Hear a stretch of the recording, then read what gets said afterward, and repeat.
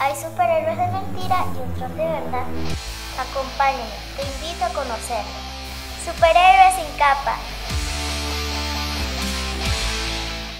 Hola, soy Sofía y tengo la misión de buscar un superhéroe. ¿Pero qué es un superhéroe? Un superhéroe es una persona que puede hacer muchas cosas buenas con sus superpoderes. Los superhéroes de verdad no vuelan ni tienen tanta fuerza. Sus poderes están en su mente y su corazón.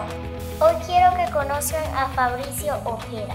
Fabricio Ojeda fue un señor que vivió en una época muy difícil para Venezuela y tuvo que luchar contra otro señor que le hacía mucho daño a las personas y le robaba la libertad. No podían salir, no podían hablar.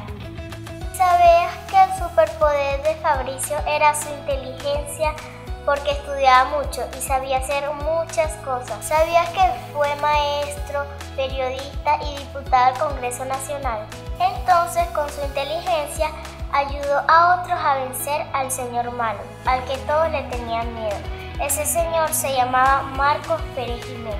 Y cuando por fin la gente creyó que eran libres, Fabricio descubrió que aunque el señor malo no estaba, los que quedan también eran malos. Fabricio luchó con todo su corazón para lograr la igualdad y libertad de todos los venezolanos. Y aunque muchos amigos le ayudaron, la gente mala se encargó de que no pudiera completar su misión. Hoy Fabricio descansa donde descansan todos nuestros héroes de carne y hueso, en el Panteón Nacional.